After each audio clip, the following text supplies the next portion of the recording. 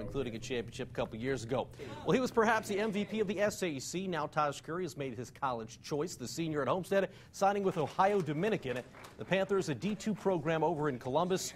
Curry averaging just under 19 points a game last year for the Spartans. They just told me just uh, freshman year I'll probably be like more of a backup. But you know, I believe anything can happen. You know, so I'm gonna keep working hard this summer and see uh, when I get there and just go in there and compete with the other guys and see what happens from there. You can see Tahj's full interview on the WANE.com sports page. The all-time